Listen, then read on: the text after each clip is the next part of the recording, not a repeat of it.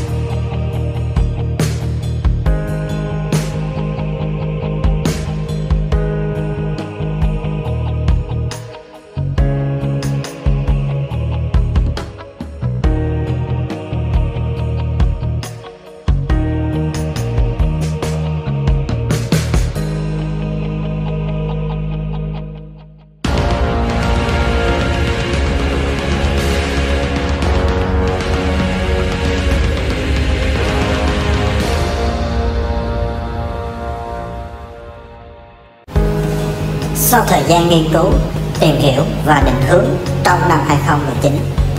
chúng tôi đã quyết định chọn mua những con giống theo định hướng Mayday pha với Aaron và Sumbo. Vào ngày 28 tháng 4 2020, chúng tôi đã nhận con giống của mình. Kể từ thời điểm đó, chúng tôi đã trở thành nhánh riêng biệt với những đặc điểm nổi trội trong giới việt quân và chúng tôi luôn phát triển những đặc điểm tốt mà chúng tôi đang sở hữu để ngày càng tốt hơn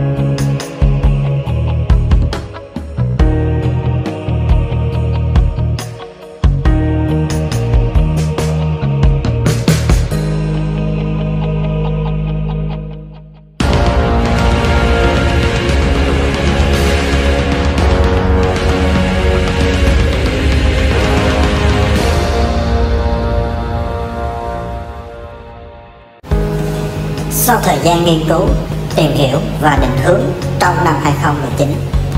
chúng tôi đã quyết định chọn mua những con giống theo định hướng Mayday pha với Iron và Sumbo. Vào ngày 28 tháng 4 2020, chúng tôi đã nhận con giống của mình. Kể từ thời điểm đó, chúng tôi đã trở thành nhánh riêng biệt với những đặc điểm nổi trội trong giới địa quân và chúng tôi luôn phát triển những đặc điểm tốt mà chúng tôi đang sở hữu để ngày càng tốt hơn